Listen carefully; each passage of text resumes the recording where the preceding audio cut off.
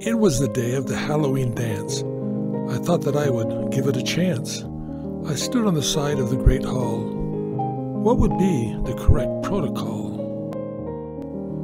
The girls all filed in on one side, the boys on the other did reside. Each wore a Halloween costume as we faced off across that room. As a teenage boy, not very aggressive, all the girls were so impressive. For me, it was somewhat frustrating because they were all so intimidating.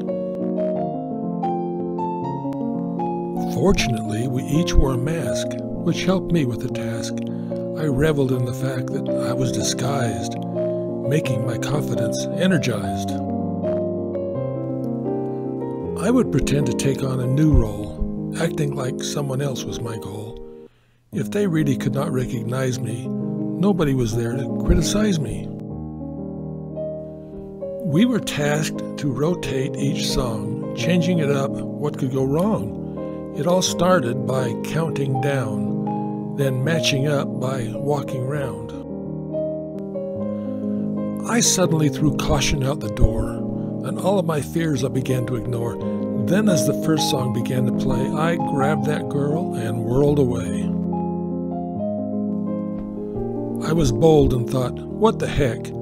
I didn't care if I was a train wreck. No one would know that it was me, my inhibitions were finally set free. It was the best Halloween ever. I was so confident and clever. I did moves on that dance floor to be remembered in school lore. When I finally got home that night, my parents asked, Did it go all right? I played the old sheepish game. It was okay. No glory did I claim.